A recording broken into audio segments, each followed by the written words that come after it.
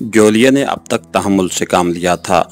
वो प्रकाश के ज़रिए उसके बॉस तक पहुँचना चाहती थी, लेकिन बॉस ने ट्रांसमीटर पर प्रकाश को उसके कत्ल का हुक्म दे दिया था।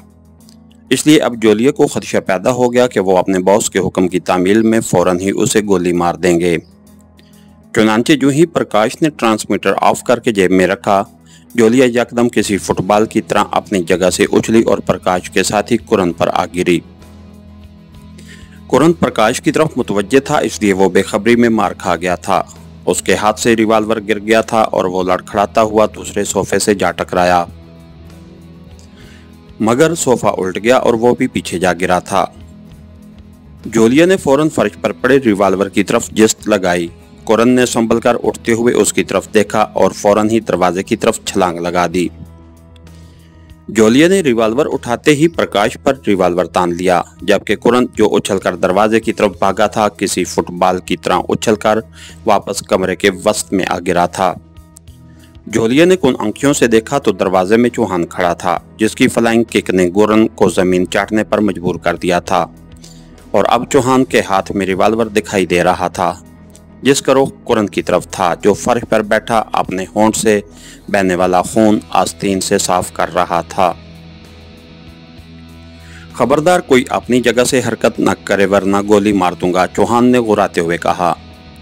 हाथ बुलंद कर लो प्रकाश, वरना खोपड़ी में सुराख कर दूँगी।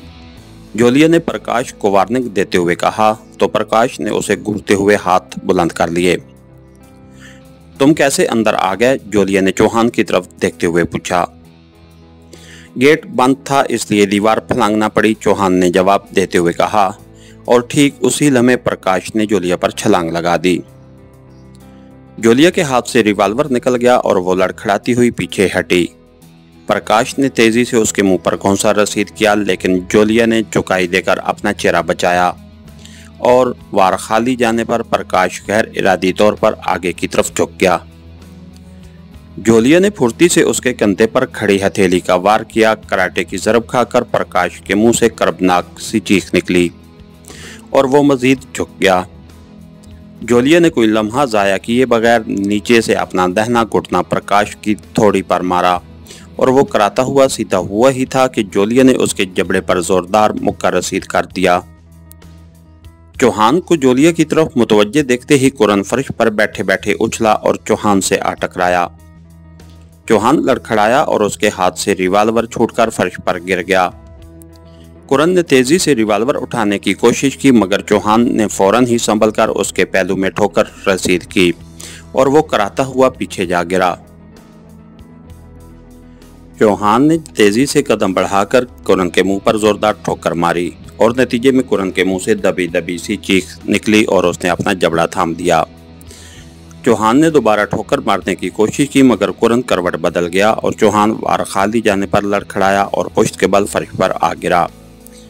कुरन ने फ़ौरन उठकर चौहान पर छलांग लगा दी, लेकिन चौहान ने तेज़ी से करवट ली और कुरन उसके पहलू में आ गिरा। चौहान फुर्ती से उठा मगर कुरन ने भी तेज़ी से करवट लेकर सीधा होने की कोशिश की। मगर चौहान उछलकर उसके सीने पर सवार होकर उसके मुँह पर घोंसे बरसाने लगा। जोलिया का मुक्का खाकर प्रकाश पीछे हटा मगर उसने फ़ौरन ही जोलिया का बाजू पकड़कर बल दिया और जोलिया को घुमाकर दूसरा बाजू उसके गले में लपेटने की कोशिश की। लेकिन जोलिया ने फ़ौरन ही अपने सैंडल की एड़ी पीछे की तरफ़ ज़ोर से उसकी टांग पर मार दी। इस जरब से बिलबिलाकर प्रकाश ने जोलिया का बाजू छोड़ दिया और जोलिया ने पलटकर उसके चेहरे पर जोरदार टक्कर रसीद कर दी। प्रकाश दर्द की शिद्दत से बिलबिलाता हुआ पीछे हटा और अपनी नाक टटोलने लगा। उसकी नाक से खून जारी हो गया था।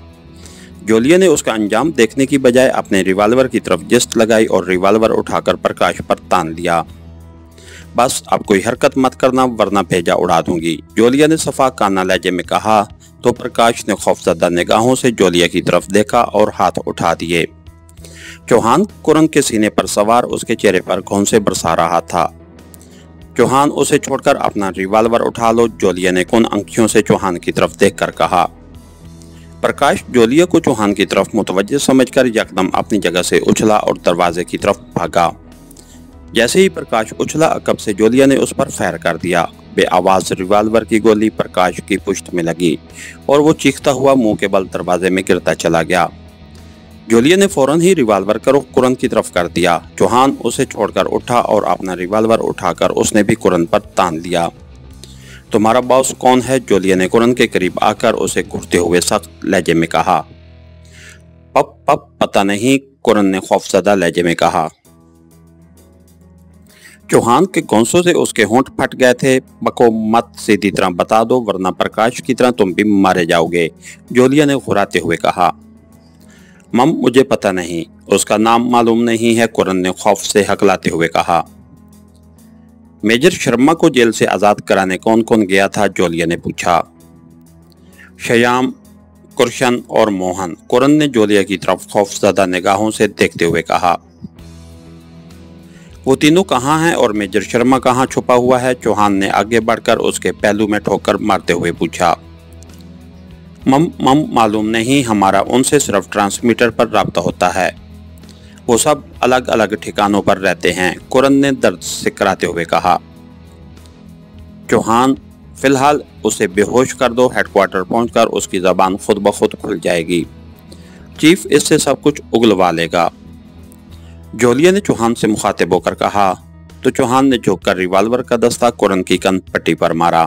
तो कुरन के मुँह से दबी दबी सी चीख निकली और वो बेहोश होता चला गया, जबकि प्रकाश दरवाजे में पड़ा दम तोड़ चुका था। चौहान, तुम उसे अपनी गाड़ी में डालकर हेडक्वार्टर ले जाओ। मैं चीफ को रिपोर्ट देती हूँ, जोलिया ने कहा। तुम्हारी गाड़ी तो वहाँ रेस्टोरेंट के बाहर ही मौजूद है, चौहान ने जोलिया को याद दिलाते हुए कहा। अरे हाँ मगर यहाँ की तलाशी भी लेनी ज़रूरी है, जोलिया ने कहा।